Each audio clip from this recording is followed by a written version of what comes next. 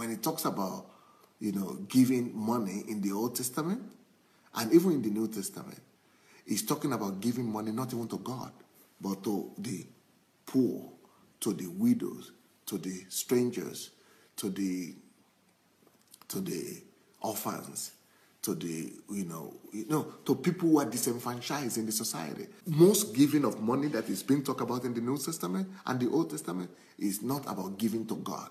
It's about giving to people to help people. I was naked, uh, you didn't feed me. I mean, you didn't clothe me. I was uh, hungry, you didn't feed me. I was, uh, you know, I was in hospital. This is the kind of giving that when it's, it's about giving to people because you cannot give God money. It's giving to people. When he's talking about money, it's giving it to people, taking care of people, people who are less privileged, people who have needs. They're giving alms. That is what God is talking about when he's talking about money.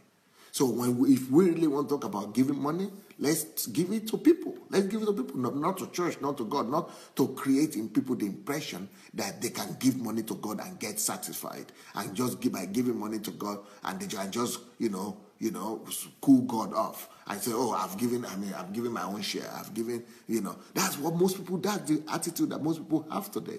They just say, oh, but I give my offering. I give my tithe and offering. So they just like they are giving. They, they are paying off God. They are bribing God with their money. They are trying to pay God off. They are trying to, you know, we trivialize God. We trivialize God, and it's a shame. We trivialize God just because we think that we can buy God off. We can pay God off. It's a payoff